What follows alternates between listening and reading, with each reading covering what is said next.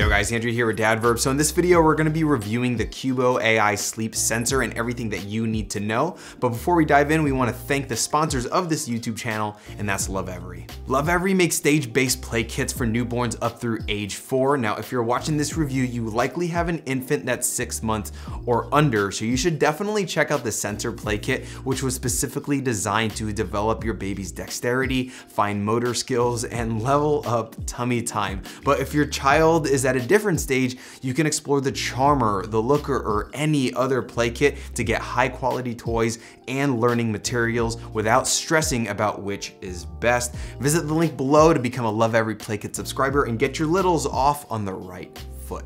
So if you've seen my reviews of the original Cubo AI and the newer Plus model, you know that I'm a fan of the system and I think they continue to deliver uh, crisp imagery, great features, and reliable monitoring. Today, they now offer a sleep safety bundle, which includes their new sleep sensor, in addition to the Plus model of their camera. I'll have my previous review of the Plus linked down below, but uh, I'm gonna dive into that new supplementary piece that opens up another dynamic to Cubo's product offering, and that's their sleep sensor.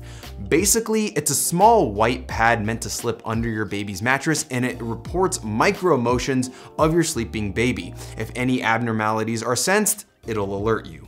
Now, this isn't the first time that we've seen pads like this being used to track your baby and supplement safe sleep practices. Again, you don't wanna use these types of devices as a crutch. You wanna make sure you're practicing the ABCs of safe sleep first and use this as just a supplementary piece. But brands like Angelcare and Babysense and uh, Hubble, uh, they don't get that one by the way. They've had these pads for a long while and you'll notice some similarities uh, between this one. But this Cubo one is being integrated with a high performing AI monitoring system, which is already a big step up, and it also offers better crib coverage.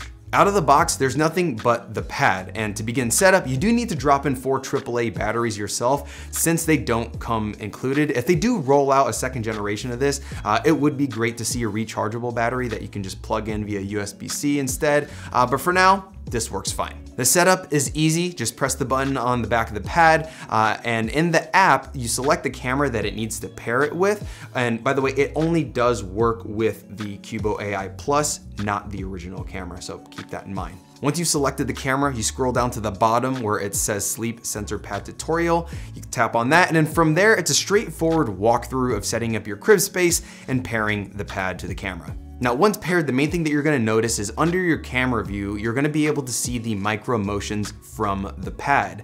Now, there is a lung icon pulsing on the left, but I wouldn't mistaken that for respiratory levels per se. Cross-referencing that with the BPM's Owlet is reporting at the same time, the numbers are very different. So if you tap on the what does this indicate prompt, it goes on to explain that this isn't so much that your child is breathing, but that your child is still moving. In particular, the very subtle rise and fall of the chest and the stomach while breathing can be detected. When more definitive motion is sensed, like twitches or just larger adjustments, it'll report that general movement is detected or that it's analyzing the movement before showing the micro motion metrics once again. Now the main mission here is to try to alert you in case no movement is detected. Uh, if the sensor pad reports irregular micro motions, uh, it basically cross-references it with what the camera sees and analyzes before sending you an alert. So it's a very powerful system, both watching and feeling for your baby to give you just the best possible picture of your baby's sleep. So that's the gist of how the sensor is paired and how it works. The main thing that I'm left desiring is some sort of visual understanding of what's normal and what's not. When I see micro motions in the mid 20s, I'm uncertain of what exactly that means on a concern level. Is it supposed to be in the 40s? Is it supposed to be in the 10s? What is considered dangerous other than an abrupt alarm, right? It's green, so I assume it's all good, but I think some sort of additional indicators would be good to include. So is this better than other premium smart options? It's kind of hard to say at the moment. Still pretty early on for me, but it is functioning well. It's just a different execution uh, compared to the image tracking of Nanit, the sensor fusion tech of Miku, uh, and the pulse oximetry of Owlet.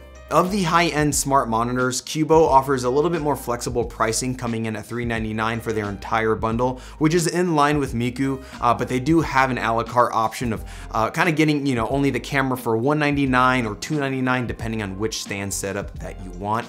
Comparing it to something like Nanit, that system is sold at a higher price point, but also tends to chip at the pocket with subscription fees uh, and accessories, whereas Cubo, while they do have a subscription as well, uh, they at least give you more of a taste of their features in front of that paywall. Over the years after reviewing these kinds of products, I've learned that parents really are split down the middle between connected and non-connected monitors. And then within that, there's like another sub-split of parents uh, of parents with varying comfort levels and arguments for tracking vitals and not tracking them. Uh, and then within that, there's like another sub-split of like wearables or non-wearables. This Cubo one being great since it's a non-contact option compared to something like Snooza or Owlet. Cubo remains a top option if that's something that you're considering, but you and your partner really should sit down and discuss whether or not connected or non-connected tech will suit your family's preferences because it's not a matter of whether it's better or not, it's what are you comfortable with. So go ahead and comment below. What are your thoughts on the Cubo AI bundle or what are your experiences with other smart monitors that are out there? If you found this video helpful, hit that like button down there. It looks like a thumbs up. For more videos and reviews for young families, please consider subscribing to Dadverb. Thank you for watching this video and come back for the next one. God bless. Later.